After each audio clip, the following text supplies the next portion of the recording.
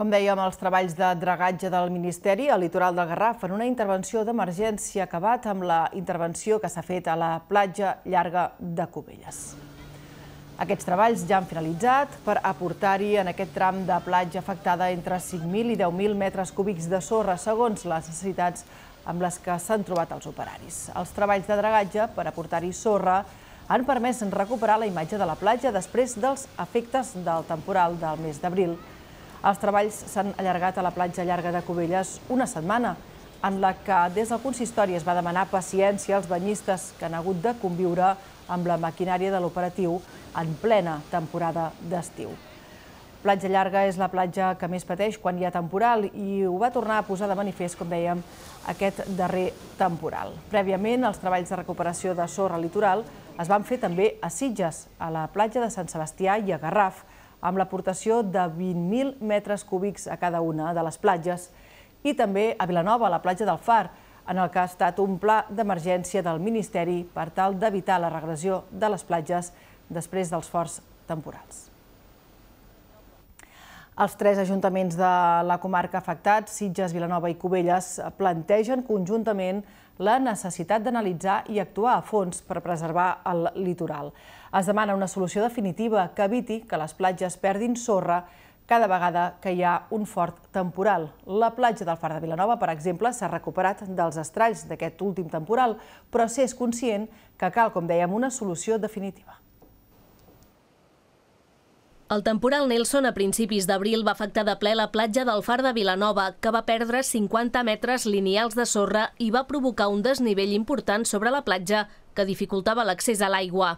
Quatre mesos després, la platja del Far ja ha recuperat parcialment la seva imatge habitual, si bé haurà d'esperar encara alguns mesos més perquè la natura acabi de fer la seva feina.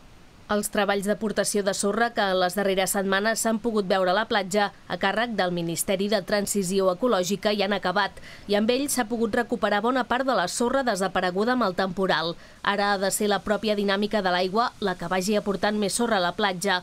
L'Ajuntament de Vilanova es mostra satisfet amb el resultat i la rapidesa dels treballs, que han permès, sobretot, tornar a tenir una platja anivellada.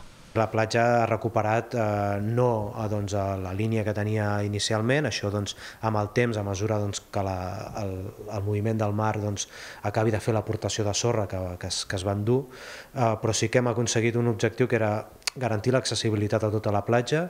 Eh, recordem doncs, que en aquesta platja ens va quedar un, un graó, no? un esgraó important, amb un desnivell. Això ho hem corregit amb aquesta actuació, que era un dels objectius principals. Amb els treballs de la draga, la platja del Far ha rebut al voltant de 10.000 metres cúbics de sorra per recuperar així la imatge que tenia abans del temporal. Però el consistori és conscient que la sorra pot tornar a desaparèixer si es torna a donar un temporal d'una certa intensitat. Per això, Sitges, Cubelles i Vilanova demanen al govern central un estudi a fons que aporti solucions definitives als perills que pateix el litoral del Garraf en cas de temporal i que tingui en compte les característiques de cada un dels tres municipis, com la presència del Port a Vilanova o els espigons a Cubelles. Ens preocupa la, la possible regressió eh, d'aquests temporals. Eh? Nosaltres doncs, més o menys tenim una certa estabilització, però sí que és veritat que cada cop tenim, que tenim temporals que som, doncs, pel canvi climàtic doncs, seran més sovint, no? tindrem doncs, eh, temporals més forts, doncs demanem una actuació més integral i més de futur i per tant doncs, aquest pla litoral que ha de tenir la, la comarca. L'Ajuntament de Vilanova és conscient de les dificultats que s'han trobat alguns banyistes amb problemes de mobilitat a l'hora d'entrar a l'aigua degut al desnivell a la sorra, però creu que els problemes a la platja del Far no han fet disminuir el nombre de banyistes que aquest estiu han visitat les platges de la ciutat.